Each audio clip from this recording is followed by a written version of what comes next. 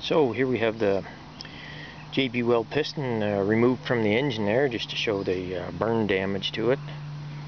Uh, really not very much after uh, two minutes, approximately two minutes of running. Uh, I left the piston ring in it there. Um, it's actually loosened up. It was fitting a bit tight to start with, but you see some brown discoloration on the top side there.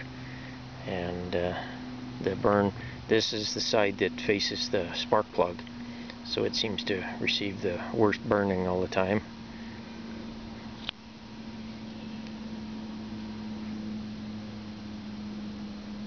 Pit there in the center, but generally it's not in too too bad a shape.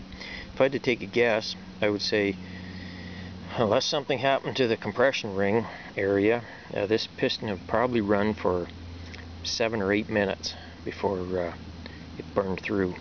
It is fairly thick in the at the top. It's probably half to five eighths of an inch thick. But uh, in comparison here, you can see what happened to the plastic piston. Again, this is the side that faces the spark plug. And uh, it's severely burnt.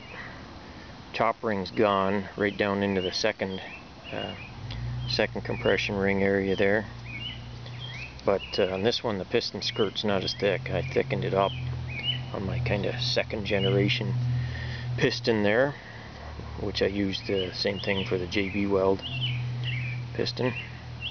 Anyway, just uh, just wanted to show you anybody that's interested in these things, just to show the, the damage to it there.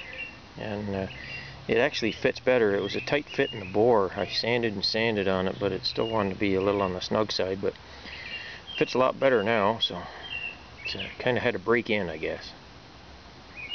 Anyway, everybody uh, have a good one, and uh, happy Father's Day, everybody.